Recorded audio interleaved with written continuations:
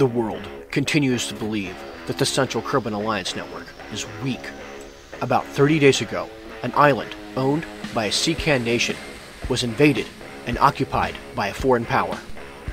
I am Echo 3, and let's continue discussing the Cold War. Margaret Kerman intends to show the world that she and her country are not weak. Already, forces have been dispatched in an effort to retake the island. Some skirmishes have already taken place, including the damaging of one enemy submarine. But there's one main airport on the island, and it must be neutralized in order to prevent the enemy from using its heavy aircraft. So, flying halfway across Kerbin, this Vulcan bomber is attempting to drop its 24 bombs on the runway in order to disrupt operations there. Even with refueling, this is about as far a mission as the Royal Air Force is capable of performing. Bombs away. How much can a single bomber actually accomplish in this conflict? With the 24 bombs dropped, one of them has actually hit the runway. This will make operations for the enemy more difficult. This also demonstrates to the invaders that the Royal Air Force is capable of hitting anywhere in their home country. Because of this raid, it is likely that the enemy will have to pull back much of their air power and keep it closer to their capital. Hopefully, this will make the job of the Royal Navy and Marines a whole lot easier in retaking the island. After the long flight, Black Buck 1 returns home. History will not soon forget this mission. However, there is much left to be done to retake the island. Already, the battle for the island's airspace is commencing. The enemy is using the Mirage 3 to patrol the skies. These are a very capable aircraft that have proven themselves in the Yom Kerbin War. Facing off against them, the Royal Navy has their Sea Harriers. The Mirages will perform best in high altitude, high speed engagements.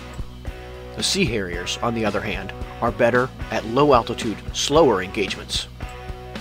And it appears, for some reason, the Mirages have decided to start this engagement on terms that favor the Sea Harriers. The aircraft are about 10 kilometers apart and closing fast. The Harriers will need to be careful as the island is fortified with anti aircraft guns. And the Mirages, too, will need to be careful as they will not have a lot of fuel for this engagement. The Harriers fire Sidewinders at the lead Mirage. The missiles explode close to the aircraft and damage it slightly. The Mirage is not out of the fight, but in dodging, it's not able to get its own missile lock back on the Sea Harrier. The Harriers fire another missile, and again, the Mirage is able to avoid significant damage. But it is not able to avoid the last incoming missile. One Mirage is down. Both Sea Harriers move in to engage the second Mirage, and the second one is also hit and taken out of the fight. The enemy will certainly think twice before trying to engage the aircraft of the Royal Navy. The joint program to develop the Harrier aircraft has certainly proven its worth today. And while the enemy has lost a couple Mirages, they are far from defeated. As this air battle is taking place, a naval engagement is happening as well. A submarine from the Royal Navy has been tracking an enemy cruiser. The order has finally been given for the submarine to attack the cruiser. The submarine launched two torpedoes, and within an hour, the cruiser had sunk. But the threat to the Royal Navy still persists. The enemy still possesses powerful air launched anti ship missiles. A lone destroyer, acting as a picket for the rest of the fleet, has been targeted by the enemy. Its radars are searching medium and high altitude for incoming missiles. It hasn't spotted the aircraft coming in low over the waves. The destroyer is there to keep an eye out for enemy aircraft and missiles.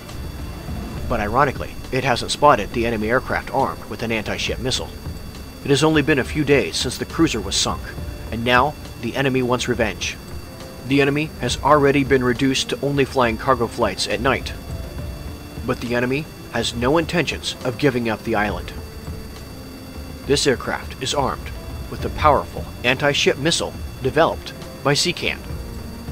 The enemy aircraft has locked on to the large radar signature of the destroyer. And now, the aircraft fires its Exocet missile. The plane quickly turns around to head to the mainland, while the missile streaks towards the ship.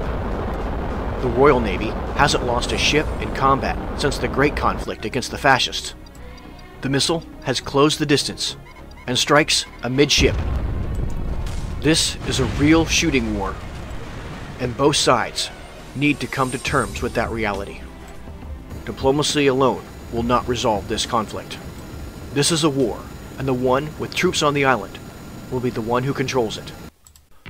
Elsewhere, the Central Kerbin Alliance Network has begun the development program for a new type of tank. CKAN's older M60 tank would have many shortcomings if it ever faced off against the communist newer T64 tank. So for years now, a replacement program has studied newer technologies to incorporate into this new design. In the end, a couple different designs were submitted, and this is the one that won the bid. Several major advancements have come in both armor and ammunition.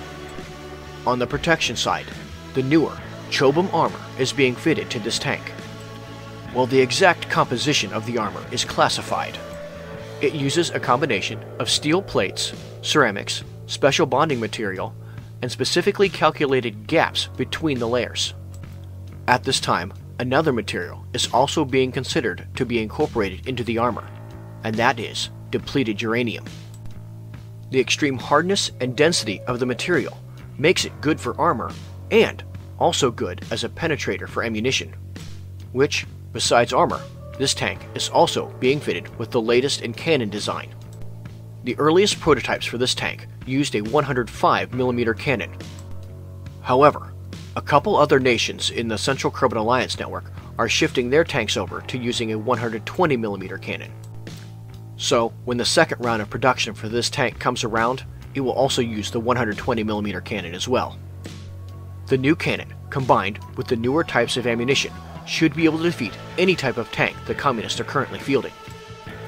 This, combined with the new armor, should make this tank a formidable match against anything the Communists have currently developed.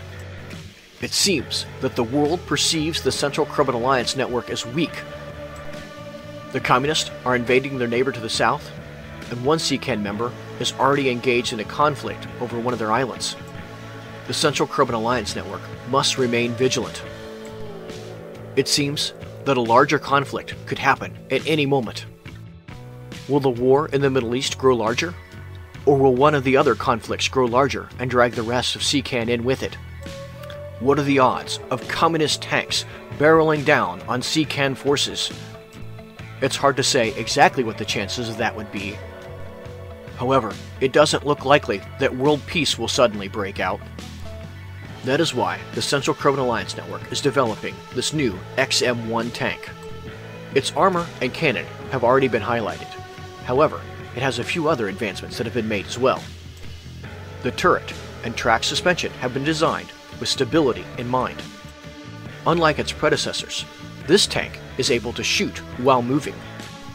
The unique stabilization system on this tank basically lets the gunner lock onto a target and shoot at it even while the tank is moving. Combined with the tank's fast reverse speed, it is capable of shoot and scoot maneuvers. That makes this tank potent in both the offensive and defensive roles. And this is just one of the newer types of tanks being developed by the Central Kerbin Alliance network. Other members are incorporating the same newer technology into their designs as well. While other designs were considered and had much of the same technologies, this particular model was chosen mostly because of its power plant. And its cool looking headlights. Well, probably not because of the headlights. But the CKAN armies are going green. This is an entirely electric powered tank. Combined with solar energy, that would give this tank nearly infinite range. It also means that should the need arise, this tank is capable of fighting on other planets and moons. But currently, the biggest threat is the Communists, and they reside on Kerbin. The AI driver and weapons manager are well protected, along with the ammo stored inside the hull. It is speculated that the Central Kerbin Alliance network takes ammo storage a lot more seriously than the Communists. With the final sensors incorporated into the tank, it is time to take it out for a test drive. This is certainly one of the fastest tanks that the Central Kerbin Alliance network has ever developed. On pavement, this tank is capable of reaching speeds almost 30 meters per second. For the Americans watching, that's close to 60 miles per hour. Even off road or over difficult terrain, the tank still handles well. Invisibility from the driver's hatch is pretty good as well. The driver is also capable of seeing what the gunner sees. As the tank approaches this intersection, it's time for a demonstration of what its gun is capable of doing. The gunner is able to line up with a target and stay basically locked on even while the tank is moving. Hopefully, this test demonstration will thoroughly impress the brass at the Central Kerbin Alliance Network, and they will want to order as many as possible. Just look at that. The gun is able to stay on target even while the tank moves. But that's not all. As night closes in, that's no problem for this tank. This piece of armor is equipped with the latest in night vision technology. And not just for the gunner, but for the driver as well.